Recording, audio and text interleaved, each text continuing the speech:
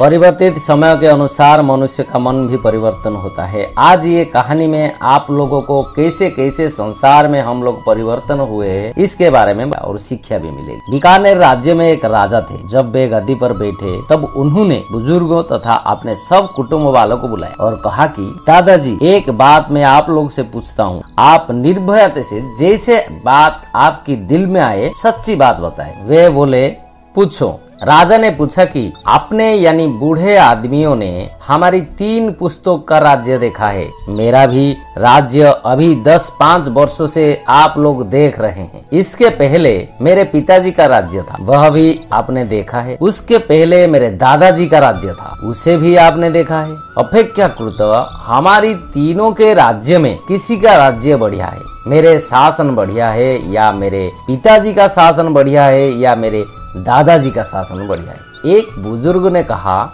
कुंवर साहेब, आप बड़े आदमी हैं। आपके परीक्षा हम लोग नहीं कर सकते। आपकी, आपके पिताजी और आपके दादाजी की परीक्षा करना हमारी सामर्थ्य से बाहर है। हम अपने पर जो असर पड़ा, वह बात कह सकते हैं। उससे आप अंदाज़ा लगा दीजिए। उन्होंने कहा, जब आपकी दादाजी का राज्य था, तब मेरे उम्र 20 साल की थी और मैं बालू के टीले पर से आ रहा था। मेरे कानों में एक स्त्री की रोने की आवाज़ पड़ी। मैं उसके पास गया। वह वैश्य जाति का स्त्री थी। उसके शरीर पर लगभग दस हज़ार के जेवर लदे हुए थे। वह रो रही थी। मैंने पूछा कि, बहन, तू क्यों रो रही है? उसने बतलाया कि मैं गौना लेकर अपने पिहर से ससुराल जा रही थी। मेरे साथ बैलगाड़ी तथा ऊँट पर हज़ारों रुपये का सामान लदा हुआ था। मेरे साथ बहुत रक्षक भी थे, किंतु बीस आदमियों का दस्यु दल आ गया और एकाएक हमला कर दिया। हमारे जितने आदमी थे, सब भाग गए तथा मैं भी भाग गई और वे सब माल लूट कर ले गए। मैं अपनी प्राण को बचाकर इस टीले पर चली आई हूँ। मैंने उसने पीहर तथा ससुराल का पता पूछा, वह उसने बतलाया दिया। मैं उसके ससुराल को जानता था। मैंने कहा कि, बहन, तू कोई बात की फ़िक्र मत कर। मैं तुम्हें घर पर पहुँचा दूँगा। अपनी बहन की समान समझकर मैं उसे, उसकी ससुराल ले गया। ससुराल वाले उसकी खोज में तो थे उनके पास पहले ही खबर पहुँच गई थी कि डाकू आए हैं और सब धन लूट कर ले गए हैं और आपने बहू को पता नहीं कहाँ चला गया। मैंने वहाँ पहुंचकर उन्हें बताया कि टीलों के बीच बैठकर रो रही थी। वह घर पहुंचकर बेहाल होकर रोने लगी और अपने सास ससुर पति को कहने लगी कि मेरी बड़ी भारी दुर्दशा हुई है। जो कुछ था सब लूट गई और मैं भी किस प्रकार अपने प्राण लेकर जंगल में भागी गई। उन्होंने मेरी रक्षा की और ये मुझे यहाँ ले आए। मैं उनका क्या गुण गाऊं? अब आप लोग उनको संतुष्ट करके भेजे। इस पर ससुराल वाले, महाराज, आपने हमारा बड़ा उपकार किया है। हमारी बहू को जीवन दान दिया है। हमारी धन की रक्षा की। हम आपको एक हज़ार रुपया पुरस्कार देना चाहते हैं। मैंने कहा कि मैंने रुपयों के लिए उपकार नहीं किया। मैंने अपना कर्तव्य समझकर यह कार्य किया। मैंने सोचा कि तू मनुष्य है। और यह मेरा धर्म है। अतः मैंने धर्म समझकर यह काम किया है। उन्होंने बहुत कोशिश की और कहा अच्छा पाँच सौ रुपया ले लें। कुछ तो लें, किंतु मैंने एक पैसा भी नहीं लिया।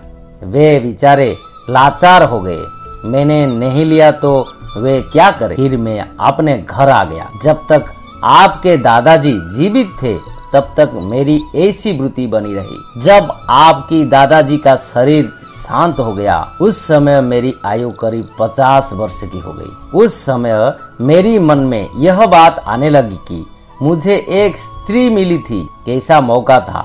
जंगल में उसका दस हज़ार रुपया का जेवर उतार लेता तो मुझे कौन पकड़ता? वे दस हज़ार रुपये और आज तक ब्याज होता तो कितना हो जाता? क्योंकि आठ आने के ब्याज से बारह वर्ष में दोगुना होता है। इस प्रकार काफ़ी रुपये हो जाते। मैंने बड़े भूल की कि धर्म की झंडे को पकड़कर बैठ गया। अब धर्म मुझे क्या काम देगा? यदि मैं वह गहना उतार लेता तो आज माला माल हो जाता। ऐसी भावना मुझमें आने लगी। विचार के द्वारा तो वह बात मुझे बुरी मालूम देती। किंतु रुपये की आसक्ति के कारण मन में यह बात आने लगती।